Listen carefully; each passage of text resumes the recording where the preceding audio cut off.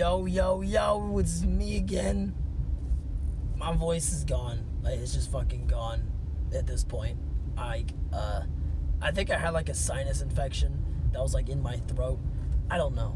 It's been very weird. I, it's, it's been a really disgusting morning, uh, for me in my hot shower.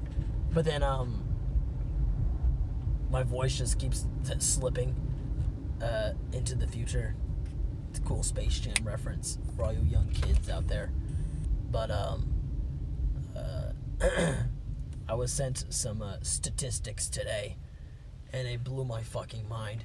So, for those of you who don't know, let me try to muscle up some voice here.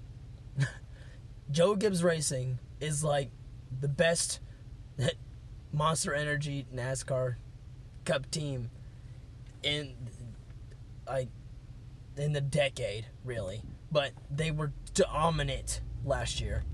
Um, Joe Gibbs hosts.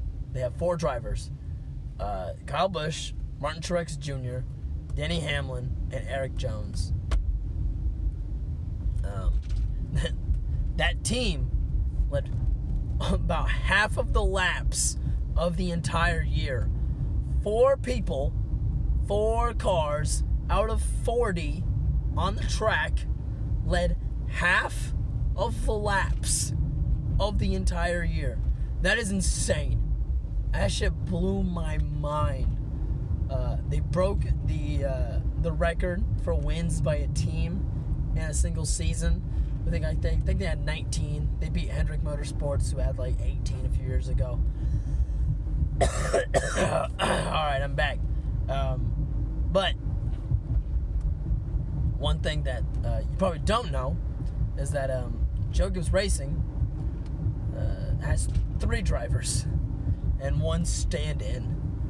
Um, Erik Jones uh, has won won one race last year, which is good. You know, good for him. He made the playoffs.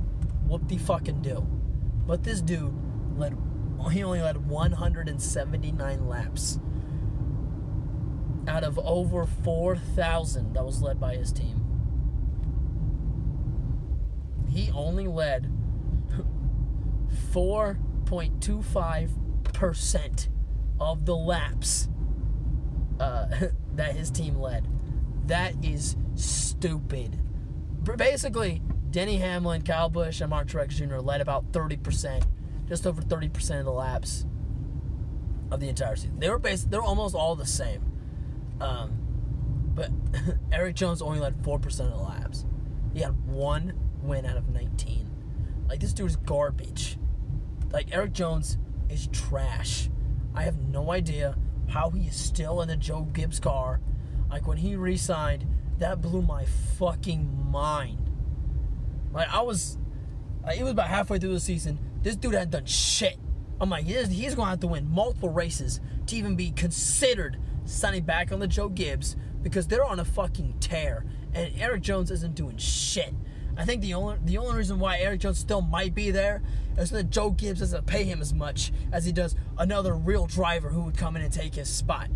Because I guarantee old Christopher Bell is going to be driving the 95 next year. Christopher Bell is going to lead more laps than Erik Jones. That's a big prediction for Tuesday, uh, November 26th. I think that's what today is. Anyway, that's my prediction that Christopher Bell is going to lead more laps than Erik Jones next year, and he's going to have more wins than Erik Jones next year. I think Christopher Bell is going to push to be in that 20 car. Um, do I think he should have already been in the 20 car? Yes.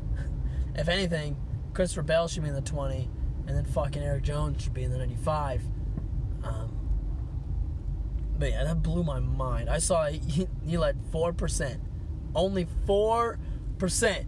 You are one quarter of the team, bro, and you can only lead four percent of the fucking laps that you that your team leads this year, bro. Sit down, go back to Xfinity.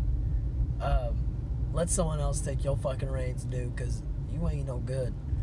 Um, the only reason why he made the playoffs is because he got that win, and then he was ousted in the round of 16, which is the first round of the playoffs which is a lot. Usually, a lot of the bad drivers get cut off in the round of 16.